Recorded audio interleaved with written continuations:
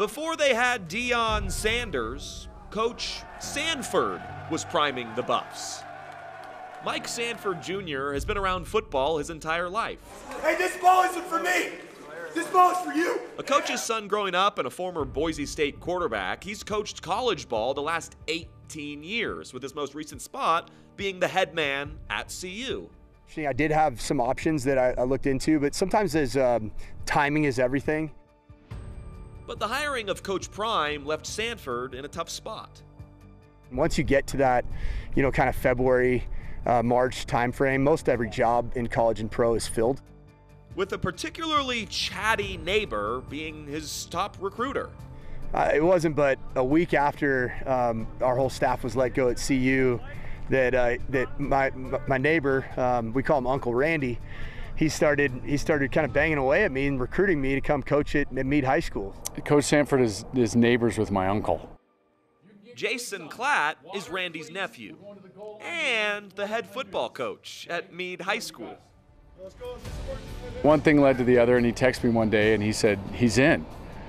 And so I thought, man, that's that's kind of weird. I, I don't think Mike Sanford really would would, would want to come to Mead High School. But I said, okay, I'm gonna I'm gonna call him up and and take him to lunch. So I called him up and took him to the Red Rooster over in Mead here. And it wasn't three minutes into the conversation that I was like, this this Jason Klatt's as good as they come. And we had a chicken sandwich. We ordered the same thing out of the blue. He just looked at me and he said, "Here's the deal, coach." He said, "I just want to help kids. I want to be on a field. I want to still coach football." And so he said, "I just want to come to Mead and help you coach." And I was in the middle of a bite of a chicken sandwich and I almost choked on it. And just like that, the Mavericks, who play in Colorado's 3A division, have the Buffs' most recent head coach on their sidelines.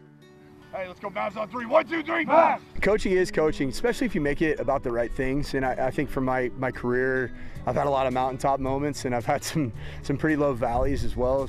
You know, been the offense coordinator at Notre Dame in front of 80,000 every game, to coaching 3A high school football in uh, in, in somewhat rural uh, Colorado. Um, at the end of the day, if you're doing it for the right reasons, you're in it for the betterment of the people that, you're, that you have a chance to coach. It's a privilege. Um, it's an honor. It's something that I don't take lightly. Right here, that's it. Good, there it is. I wanted my kids um, to have a team to root for. And uh, needless to say, uh, my three kids are going to be big time Maverick fans this coming fall. And with Sanford ready to help lead the 2023 Mavs, it's obvious and admirable to see his love of football hasn't gone anywhere except that is for Mead High School. And I want these kids to know that I truly care about them. Now, learning 120 uh, new names has been a challenge, but uh, we'll keep working uh, towards the fall.